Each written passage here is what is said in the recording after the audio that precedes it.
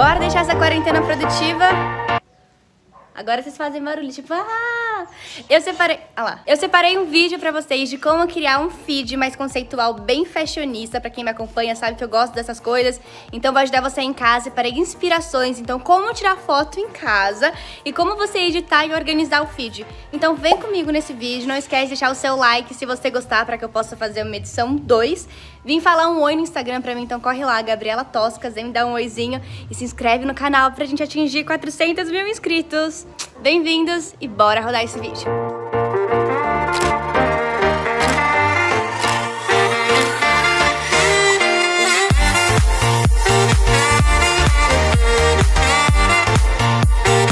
Tiver uma cortina na sua casa, é porque ela tira o que vai vir do sol, né? Ela dá uma tampada e dá uma quebra de luz que fica bonito. Tá vendo como ela quebra a luz? Você vem mais pra frente, fica mais branquinho.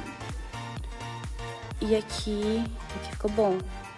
Vou tentar fazer mais uma aqui, porque eu vi que o, o branco, se você tiver um frizz no cabelo, ele realça.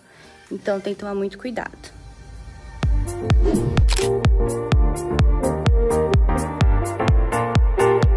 Vou aproveitar para fazer uma foto também com boné. Aqui tá mais sombra nessa parte da casa. Eu vou achar uma que o sol, tá vendo? Eu tô contra o sol aqui, o sol lá. Então uma que venha mais pra cá. Uma coisa legal das fotos é fazer, tá vendo tem um galho aqui que tá indo bem na minha cara? A gente tem uma planta aqui em casa que os galhos ficam. Talvez seja até interessante fazer uma foto mais conceitual com a sombra dos galhos. Vou tentar fazer aqui com o celular. Música Agora a gente vai usar espelhos. O espelho que você tiver na sua casa. Se você tiver aquele espelho de maquiagem que é móvel, que você consegue pôr em algum lugar, eu vou mostrar uma ideia com esse. Se eu achar o meu, né? Porque eu não sei onde tá o meu. Eu acho que tá no lugar da casa, eu vou procurar. Mas eu vou mostrar primeiro uma ideia com um sapato e um espelho que você tiver, pode ser de parede mesmo. Ou se você tiver, tipo, algum solto pela casa, gente, coloca numa superfície branca ou um fundo clean ele, que o filtro ajuda tudo. E escolhe o seu melhor sapato. Eu vou escolher algum sapato que eu goste aqui em casa e vem comigo acompanhar acompanhar como é que vai ser essa foto. Eu pensei em escolher o meu Saint mas eu já tirei tanta foto no meu Instagram dele que o pessoal não aguenta mais ver. Eu acho que eu vou pegar esse meu antigo da Schultz, que ele tem uma perna bem legal, e vou usar ele, que eu acho que essas tiras vão dar também um efeito legal pra estética do feed. Gente, uma dica, tá? Sempre passe creme na perna, sempre. Eu vou passar esse aqui, deu serim. Mas qualquer hidratante de corpo que você tiver, porque na foto, se você tiver ainda um bronzer, um que tem um brilhinho, na foto fica mara.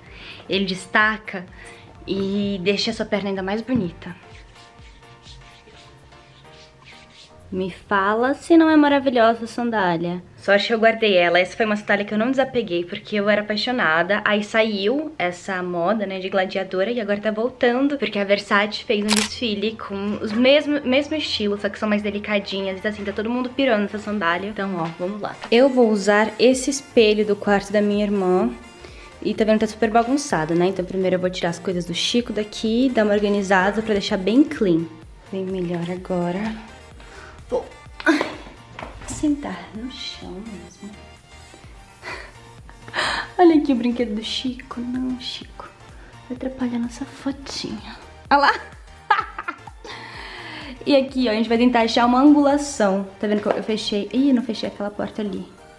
Mas eu vou deixar assim mesmo, vamos testar. Temos que achar agora uma angulação pra foto. Tá, que fique bem bacana. Vou vir mais pra frente. Eu só quero que apareça uma parte da perna. Então, vamos lá.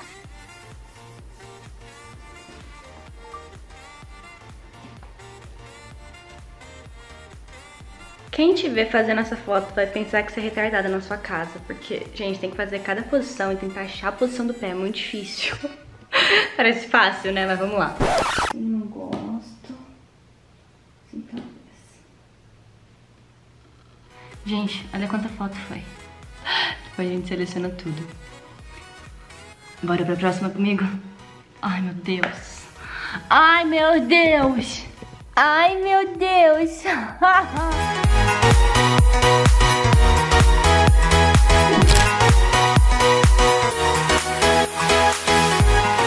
Roubarei o closet do meu pai agora.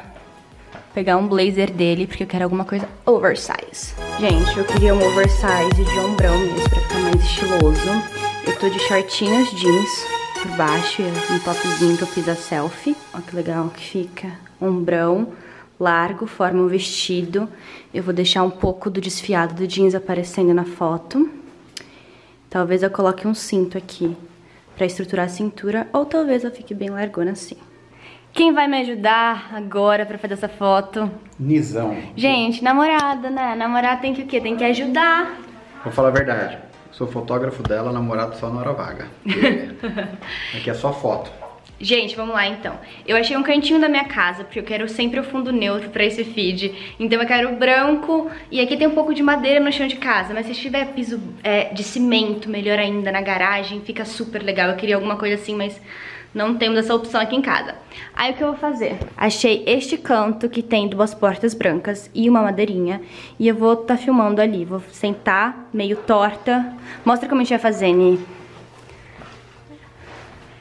Então a ideia da foto vai ser aqui.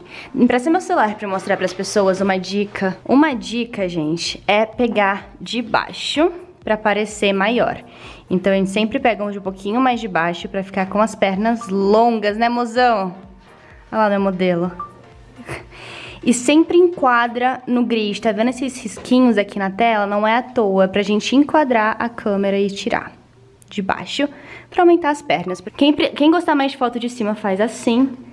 E quem gostar do meio, vou colocar três opções.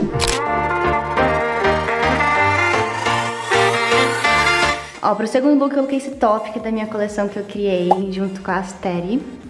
E aí eu joguei um blazer e temos uma calça branca. A minha ideia é blazer branco, branco e um top. Isso é um biquíni, tá, gente? Ele é praticamente top biquíni, mas eu gosto de misturar, eu sempre misturo tudo mesmo. Então a ideia dessa foto é ser na cama, então no seu quarto, com a decoração que você tiver, é, você vê qual roupa assim mais combina a cor. O meu quarto ficaria legal um branco, então eu coloquei um look branco.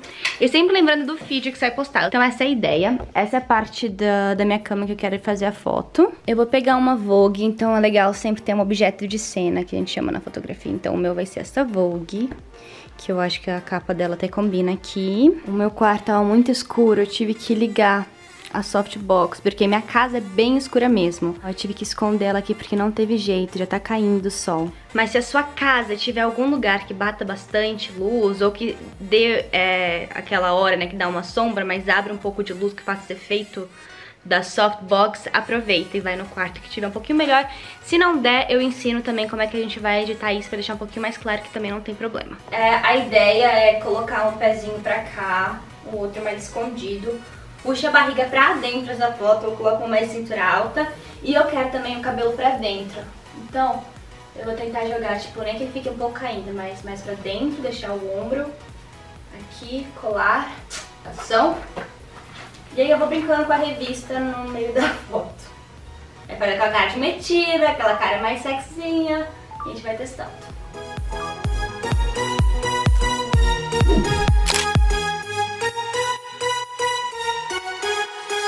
E a última foto vai ser o quê? Num varal. Andei pensando o que, que todo mundo tem em casa. Todo mundo em casa tem um varal de roupa. O meu varal de roupa é improvisado aqui fora no quintal. Então tem um pouco de área verde, que eu não quero pegar essa área verde. E o sol eu demorei pra vir. Eu queria que o sol estivesse batendo aqui pra fazer uma com sombra, mas eu deixo essa pro próximo vídeo. E vocês podem ver que tá sem sombra e só tem lençol branco. Então eu tive sorte de pegar um pouco de lençol branco pra fazer essa foto. Então o que você tiver de branco na sua casa, você coloca pra fazer o fundo. Eu acho que o ideal aqui seria um biquíni. Eu peguei um biquíni preto e eu coloquei no varal. Então eu tenho aqui um biquíni preto, a parte de cima do biquíni e eu tenho um fundo branco do lençol. Aí eu vou tentar fazer alguma foto aqui. Tá vendo que eu tenho quintal atrás? Eu não quero nesse momento do meu feed o verde.